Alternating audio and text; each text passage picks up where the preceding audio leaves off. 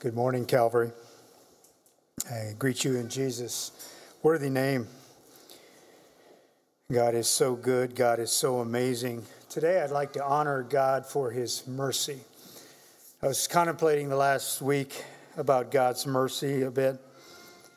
God withholds from us many times the consequences that we deserve, and for that we honor him, his mercy. Is God good? Is God merciful? Say amen. Amen. Amen. God is good. I want to give credit to uh, the message, to a message by Stuart Rooch III on preaching.com, today.com for help with today's message. The title for today's message is God's Plan for Your Body. The subtitle is Bodies Are for Bonding. Our text is the same one we used last Sunday, 1 Corinthians 6 12 to 20. Many of you have a tube or several tubes of super glue around your house. I won't ask for a show of hands, but many of us do. It's kind of a last uh, ditch attempt to fix something, many times not the best way, perhaps, but we have some super glue around in your house. How many of you struggle with using that super glue? Yeah, again, it's, it's a real, it's, it's a really, really good stuff. They, they, they formulated it well, and if you use it right, it, it is really, really strong. But uh, when I go to get the super glue out of my desk, a lot of times it's one that I've used before, tube, right? And you go to unscrew the thing, and, and it, it doesn't. It doesn't. It doesn't unscrew. So you grab a pliers and you, and then it starts squirting out the sides. And you grab your hands and you try to, you know, and, and then your hands stick together, fingers stick together, right? And you're like, ah, and you pull it apart, and it's, it's, it's kind of a painful process sometimes. Super glue. Um, the word that we're going to be focusing in this morning on the message is joined. The ESV says joined. It is actually the root word is glue. If you look it back, it is the word for glue. Um, bond or bonding is, is, is a term that's often used. Bodies are for bonding, God's plan for your body.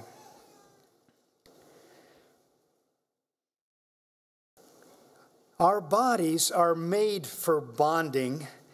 It's one of the reasons God gave us bodies especially in our marriages, but also in our families, in our churches, in our youth groups, and with God. And like superglue, these bonds can be so good or they can be so bad. And they are often permanent. And when you try to break those bonds, they make a big mess when you try to break them apart, and they never look the same again.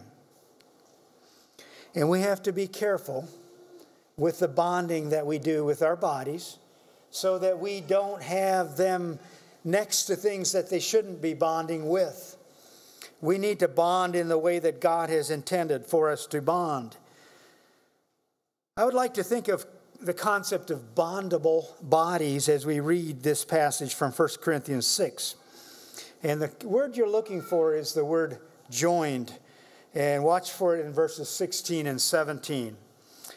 I encourage you to stand as we read 1 Corinthians 6, verses 12 to 20. 1 Corinthians 6, verses 12 to 20. All things are lawful for me the apostle writes, but not all things are helpful. All things are lawful for me, but I will not be dominated by anything. Food is meant for the stomach, and the stomach for food, and God will destroy both one and the other. The body is not meant for sexual immorality, but for the Lord, and the Lord for the body. And God raised the Lord and will also raise us up by his power. Do you not know that your bodies are members of Christ. Shall I then take the members of Christ and make them members of a prostitute? Never. Or do you not know that he who is joined, and that's the word glue there, to a prostitute becomes one body with her, for as it is written, the two will become one flesh. But he who is joined, there's the word again, glued to the Lord, becomes one spirit with him. Flee from sexual immorality. Every other sin a person commits is outside the body, but the sexually immoral person sins against his own body. Or do you not know that your body is a temple of the Holy Spirit within you, whom you have from God? You are not your own, for you were bought with a price. So glorify God in your body. You may be seated.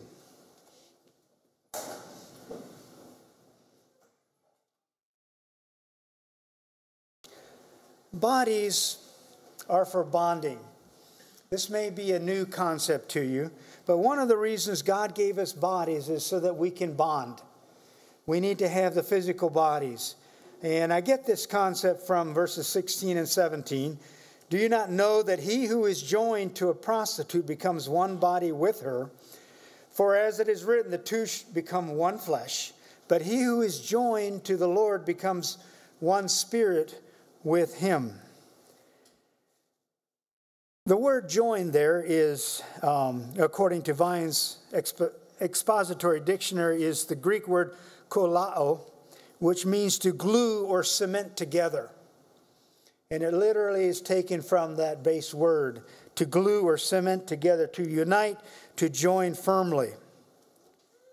I went looking for a definition for bonding. And I was surprised how good a job Wikipedia did with this. But I'm going to read you the definition right from Wikipedia. Human bonding is the process of development of a close interpersonal relationship between two or more people. It most commonly takes place between family members or friends, but can also develop among groups such as sporting teams and whenever people spend time together. Bonding is a mutual interactive process and is different from simple liking. It is the process of nurturing social connection. Bonding typically refers to the process of attachment that develops between romantic or platonic partners, close friends, or parents and children. This bond is characterized by emotions such as affection and trust. Any two people who spend time together may form a bond. So that's a term for bonding, and most of you have heard this term, uh, bonding, in, in, in, your, uh, in your experience or in your reading. It's the development of a close interpersonal relationship with other humans, and I want to say this morning with God. Bonding happens with God as well. It happens in families, it, and you often think of a child bonding with their parents their father or their mother. It happens in social groups who share interests and spend lots of time together. It happens in churches. Bonding happens in churches. And, and our bodies is what is used, is the glue, if you will, is, is like the glue that, that this bonding is, happens through. Um, church bonding is especially important.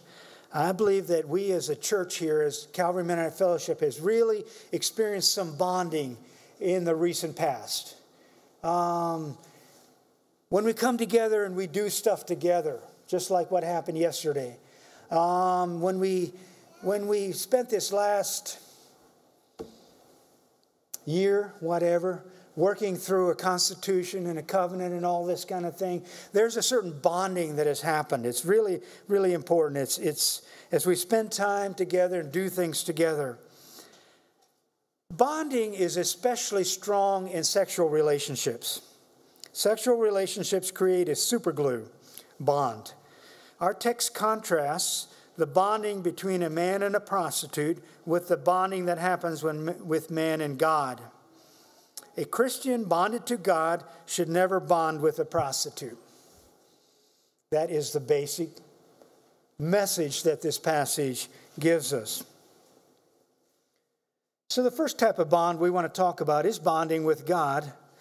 Um, verse 13 of our text, the section B the body is not meant for sexual immorality, but for the Lord, and the Lord for the body. Or do you not know that your body is a temple of the Holy Spirit within you, whom you have from God? Genesis chapter 1, verse 27 says, For God, so God created man in his own image. In the image of God, he created him, male and female, he created them. Our bodies were created by God to bond with God. They were a way that we could have a relationship with God. They're a gift from God. We are made so that we can bond with our Creator. That bonding happened, as we read the story of Genesis, in, in early, uh, early after the creation of man. There was a bonding time that God had with man. If we read the account in Genesis 3, it talks about God going out into the, into the garden in the cool of the evening, and there would be a, a time that was spent with the first couple. And they would bond, they would bond together. It's beautiful uh, uh, picture that we get of God bonding with his creation. We know that, that, that bonding was, was damaged. When sin entered the world, that bonding got damaged. That relationship was damaged, and that bond was broken. However, that bond that we have with God is restored as a Christian. That bond that we had developed with God is restored, that relationship. We bond more strongly with God as we spend time with Him, just like all bonds do. We spend time with God and we bond more closely with God. As we allow the Holy Spirit to work in our lives to cleanse and sanctify us, as we use the bodies that we have been given according to how He designed them for them to be used. As I was preparing this message, I thought of an example from the Old Testament of a man who bonded with God in a really special way. It happened before the flood. There was this, this man, Enoch. And I'll read a couple of verses from Genesis 5. Enoch walked with God after he fathered Methuselah 300 years and had other sons and daughters. Thus, all the days of Enoch were 365 years. Enoch walked with God, and he was not, for God took him. I preached a message one time on Enoch walking with God, and that, that is the bonding that I'm talking about this morning. He walked with God. Enoch walked with God. There was a bonding time that Enoch had with God, and it seemed like it probably happened all the time. He continued to walk with God, a daily walk, a daily bonding, spending enjoyable time together, sharing deeply, laughing together, crying together, developing a deep and abiding relationship. Maybe if we bonded as well as Enoch did with God, we would also not need to die. Interesting thought. Wouldn't that be neat? So, bonding with God. Secondly, bonding with the body of Christ. Do you not know, he says in verse 15 of our text, that your bodies are members of Christ? Shall I then take the members of Christ and make them members of a prostitute? Never. It's incongruous. It's, it's totally unthinkable that you would take a member of Christ and make them members of a prostitute. Reading from 1 Corinthians 12 For just as the body is one and has many members, and all the members of the body, though many, are one body, so it is with Christ. For in one spirit we were all baptized into one body, Jews or Greeks, slaves or free, and all were made to drink of one spirit. For the body does not consist of one member, but many. Now you are the body of Christ, and individually members of it. So, what he's saying here is that we, in this local setting as Calvary Mennonite Fellowship, are members of the body of Christ. You are, you are, you are, I am. We are members of the body of Christ as Christians. Not just our spirits, but our bodies as well become a part of Christ's body, the church. We're part of the worldwide body of Christ, and we're part of a local body here in Mount Clinton. As a family of believers, we bond together. We should each one of us, we, as we bond together as a visible, tangible body of Christ. Christ is the head of the body. We are members. And uh, we may represent, we don't know what part of that body. Some of you are, one of you is a big toe, one of you is a liver, one of you are whatever. We're part of the body of Christ, okay? We sing together, we spend time together, we pray together. We laugh together, we cry together, we work and play together, we eat together, we develop relationships together. At Calvary Mennonite Fellowship, we bond together using the physical bodies that God has given us. It's important that we do that. It's a part of healthy church life. So many churches in our American culture get together for Sunday morning for uh an hour or whatever and get their spiritual fix for the week, and they're off into their own. And they're not really bonded as a body of Christ. They are alone. And this is the curse of our modern American culture is when we are alone. We are alone. We are not part of the body in, in a practical sense. We're not bonded together. We're off by ourselves. We're in our virtual world and we're not bonding well as the body of Christ. God didn't mean for us to be that way. I don't know what your experience was with COVID here in the last couple of years. It wasn't a real good bonding time, was it? It's hard to bond virtually. Okay, you're there watching someone preach a message on your computer screen or whatever, and, and the bonding is, is, is not, not, not that effective. And I, like I say, I think this, this, this bonding that, that we've experienced as Calvary Mennonite Fellowship has been really, really healthy in the last recent together. So that's bonding in the body of Christ. Bonding in marriage is the next thing I want to talk about. Do you not know, he says, that your bodies are members of Christ? Shall I then take the members of Christ and make them members of a prostitute? Never. Or do you not know that he who is joined to a prostitute becomes one body with her? For as it is written, the two will become one flesh. Now, you don't have to cover your children's ears. I'm going to be discreet this morning. Okay, if, if you want to, you can. Sexual intimacy is one of the strongest God designed bonding agents that is available to human beings. It is the superglue that bonds. It's the superglue of all bonds. It soaks into the very pores of our beings and grips tightly to hold together. This bonding agent is only designed to be used in a relationship that is irreversibly linked and committed till death do us part. Amen. Absolutely. That's where this bonding agent is to be used. This bond of, of sex is to be used in a committed, only in a committed marriage relationship till death do us part. It never should be used anywhere else.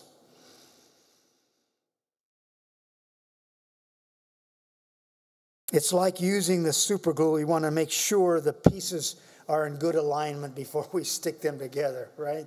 We want to make sure they're there where they should be, and we're committed to that, that bond, if you will. This bond is so strong that the scripture says, and Paul here is is quoting from the Genesis account where it says that the two will become one flesh. You can never totally pull the pieces apart without tremendous damage. And that damage remains even in a legitimate marriage later on. The damage remains. You say, well, God forgives. He does. God absolutely does forgive. But there's damage there's damage that remains.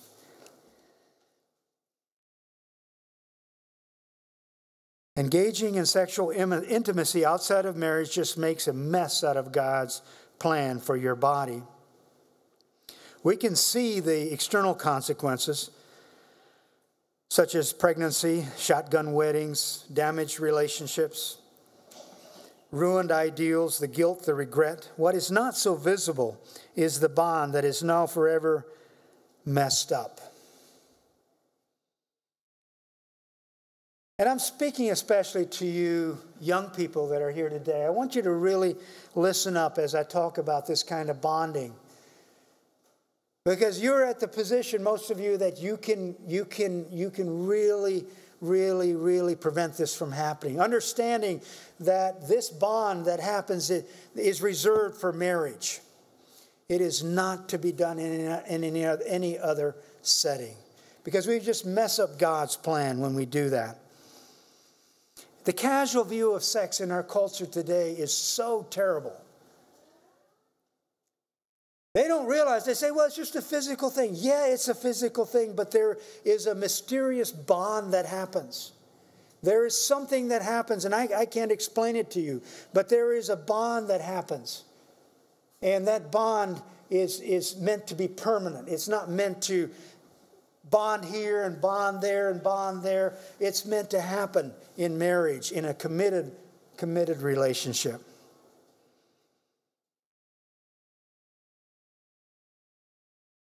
I want to talk about now unholy bonding. I've already begun to talk about it. Verse 18 says, Flee from sexual immorality. Every other sin a person commits is outside the body, but the sexually immoral person sins against his own body. Sex is a God given drive. We know that. God gave us these drives, and they are not something shameful. They form a part of the relationship in our families, they are part of the closeness in marriage, a super bond that God intended. They are beautiful in the way that God intends them to be. Behind our physical hunger for food, the sex drive is a strong second in our experience, especially in our younger years. Young people, listen up.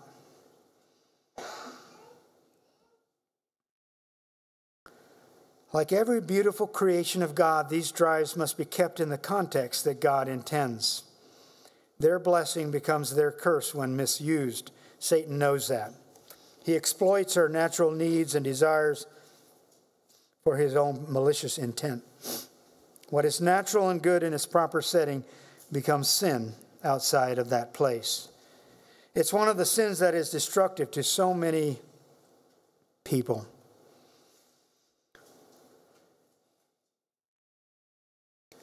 What makes sexual sin different? Are we not forgiven when we sin sexually? What does it mean to sin against your own body? Let's see what we can find out. I'd like to give credit to this list to, to Jack Hayford. He's a, a minister that you probably have heard maybe on the radio or so. Sex sins, he says, are not harder for God to forgive, but they are more damaging and at a personal and social and at, at a personal and social dimension for the following reasons. Number one, emotional damage. Emotional damage that happens. Emotional damage happens when we engage in sex sin. It exploits the deepest aspects of our emotionality. It awakens our deepest passions. It also exposes us to the greatest possibility for emotional violation and injury. In a sexual relationship, we give ourselves away. That's God's design. In a casual relationship, a piece of ourselves is gone forever. It's that damage from breaking the glue joint apart. Tenderness is replaced with hardness and world weariness. I know you've seen that in our culture. God designed for our emotions to be tied up with our sexual relationship. In a committed godly marriage, this is a huge stabilizer for us. When it's engaged in outside of marriage, it wreaks havoc to our emotional stability. God forgives, but the emotional damage is there. There's a hardness there, and there's a loss of a part of ourselves that's never totally replaced. The second um, thing that makes sexual sin different is uh, guilt. Guilt is different from other sins. There is a tremendous guilt that's there, and, and guilt, as we know, is God given.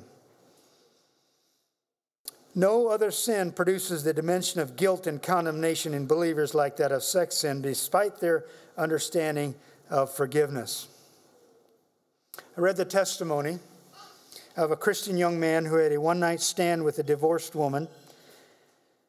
This young man repented sincerely and cut off all ties, but the guilt just stayed on and on and on. There's a measure of guilt that makes this sin unique. Thirdly, is unnatural appetites. What makes it different is unnatural appetites.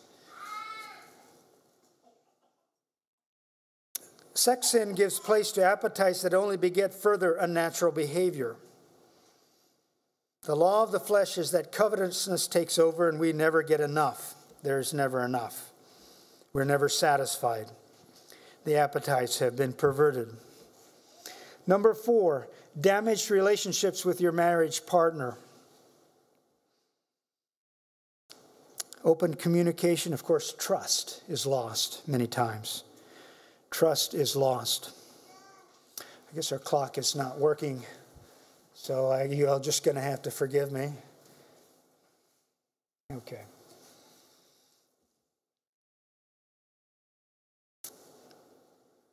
Sex sins compromise the foundation of life's deepest human relationship.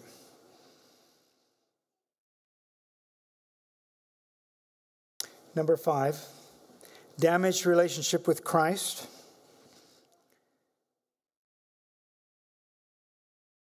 In the text that we are using this morning. For the believer, sex sins are worse than others because in sexual immorality, a believer prostitutes the body of Christ. The bonds in the family of God are now all messed up with bonds with that prostitute. I'd like you to contemplate that just a little bit. And that's why it's so important as a body of Christ that we don't tolerate immorality in the body of Christ. If there's open sin that's not taken care of, it needs to be put out of the body of Christ because now we have now we have this this member who is part of the body of Christ becoming also a member with a prostitute or some other sexual perversion that's going on. And that cannot be. The apostle says, never, never, never let that be. Okay, we want to move on then to some moral guardrails. That's the bad news that I'm preaching to you this morning. We can do some, put some place, something in place. And young people, I'm talking to you especially. There are moral guardrails that we can put in place that can avoid this kind of thing happening. You all know what a guardrail is, right? Beside the road, you're, you're driving along and, and you, there are guardrails. The guardrails are there for two reasons. Two reasons that you'll have guardrails beside the road. One of them is a visual aid to, to let you know how far away you are from, from danger, right?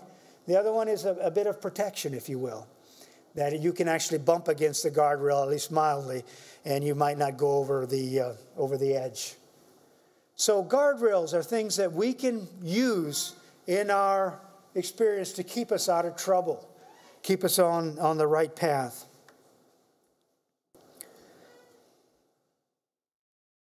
And they're listed in Scripture. The first one here is flee. You get into a compromising situation, don't stay there, get out. And we often think of the example of Joseph in the Old Testament. He got out, and uh, he was a wise young man beyond his years. Get out, get away from it. Don't dilly dally around. Our passage of scripture this morning in, in 1 Corinthians 6, verse 18 says, Flee from sexual immorality. Flee, flee away. Go away. Don't, don't, don't hang around. Number two, clean thoughts is another guardrail. Clean thinking is what our guardrails. If your thoughts are clean and pure, it's a sign that you're on the road. You're not up against the guardrail. If you're struggling with impure thoughts, it's a good indication that your moral guardrails are not as close in as they should be. You want to establish a guard on your eyes, not staring at indecently dressed women, looking away quickly. Pornography, don't ever go there. Get out of there. A guard on your ears.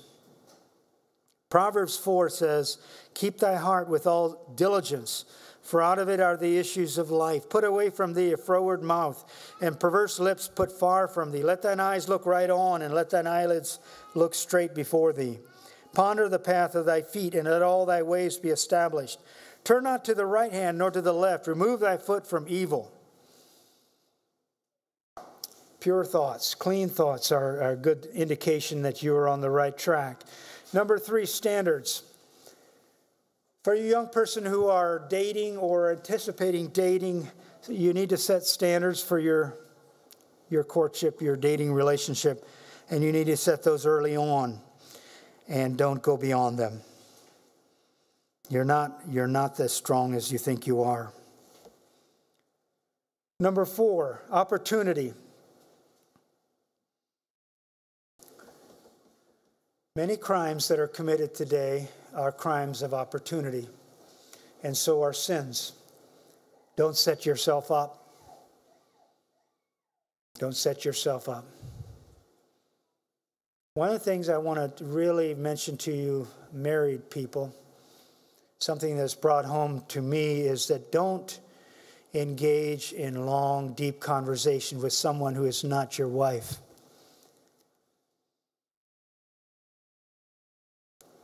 Even if it's the pastor. That is setting yourself up. Crimes of opportunity. Number five, emotional connections. Don't share with someone who is not your partner with deep emotional conversation. And number six is accountability. Let someone know that you're struggling. And I think that's something that, uh, that Josh is going to be talking about tonight at our men's meeting um, is accountability and what we can do with accountability for our relationship as men. Um, We didn't co- coordinate this thing at all, Josh and I. It's just amazing how God works these things out. And uh, so, anyway, call to action in this morning's message is glorifying God with our bodies. And that's found in the last couple of verses of our text. It's a call to action, it's the application in this message. He says in verses 19 and 20 of our text, Do you not know that your body is a temple of the Holy Spirit within you, whom you have from God? You are not your own, for you were bought with a price. So glorify God in your body. I want to read a couple of verses from 2 Timothy having to do with um, being vessels of honor for God.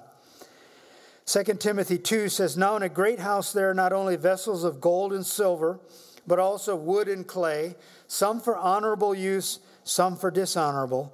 Therefore, if anyone cleanses himself from what is dishonorable, he will be a vessel for honorable use, set apart as holy, useful to the ma- master of the house, ready for every good work. So flee youthful passions and pursue righteousness, faith, love, and peace along with those who call on the Lord from a pure heart. The word picture here is that in a great house, there are many vessels. There's fine china up in the cabinet, contrasted with a wastebasket over here by the, the counter on the sink. Many, many vessels, all vessels. He says, purify yourself, and you will become a fine vessel for God to use. And the choice is ours, brothers and sisters. The choice is ours.